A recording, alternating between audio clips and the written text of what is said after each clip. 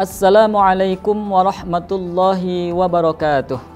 Hamdan wa syukran lillah, salatan wa salaman ala rasulillah. Sayyidina Muhammad ibn Abdillah wa ala alihi wa sahbihi wa mawalah. Amma ba'du. Pemirsa NU Jabar Channel yang dirahmati Allah Subhanahu wa taala. Di dalam sebuah hadis sebagaimana diriwayatkan oleh Imam Abu Dawud Nabi Shallallahu Alaihi Wasallam bersabda bahwa kelak pada hari kiamat akan datang seorang laki-laki yang membawa pahala yang sangat besar sebesar gunung-gunung Tihamah.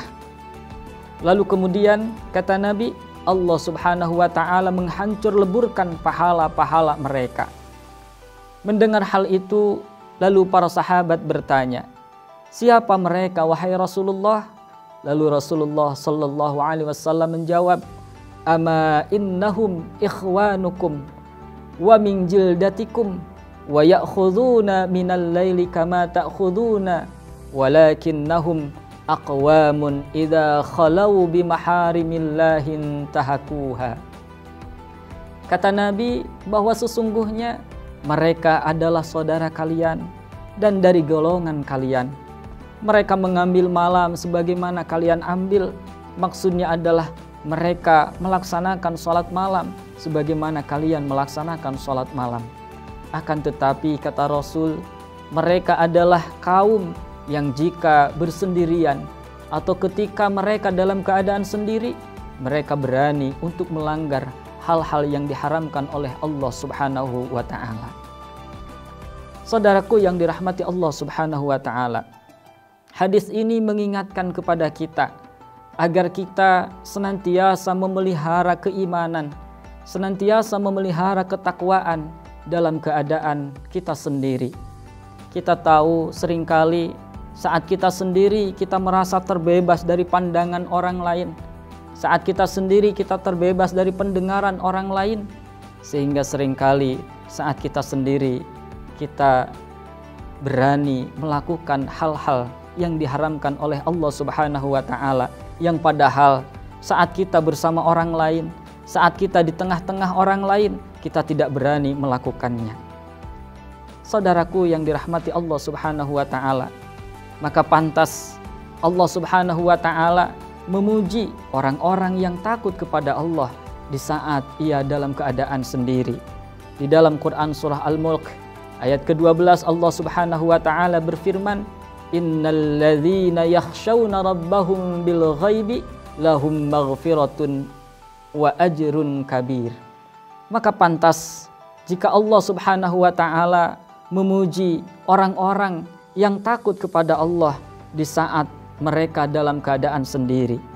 Allah Subhanahu wa taala berfirman di dalam Quran surah Al-Mulk ayat ke-12. A'udzu billahi minasyaitonir rajim. Innal ladzina yakhshawna rabbahum bil ghaibi lahum maghfiratu wa ajrun kabir. Yang maknanya wallahu a'lam bisawab.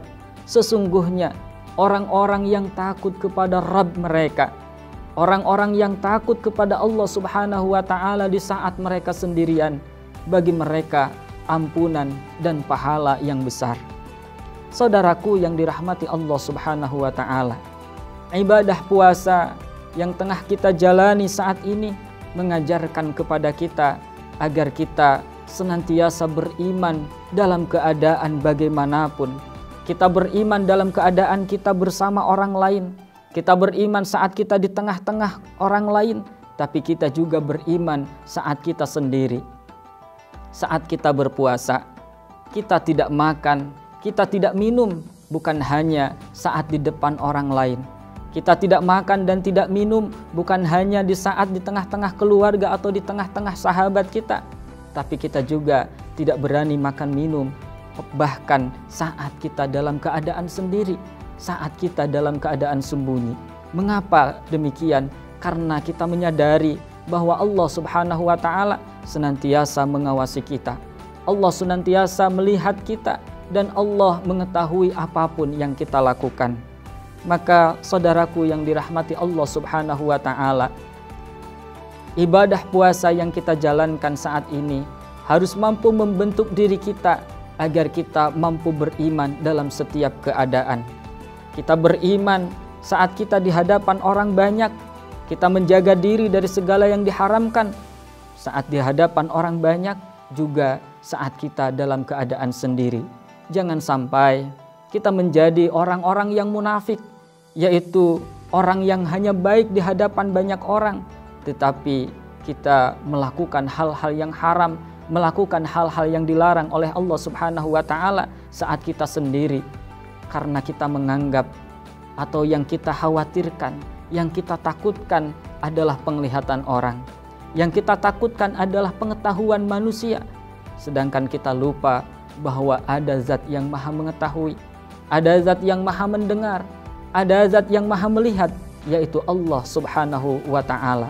Semoga Allah Subhanahu wa taala memberi kita kekuatan iman sehingga kita mampu menjalani keimanan bukan hanya saja saat kita di hadapan banyak orang tapi juga kita mampu beriman saat kita sendiri.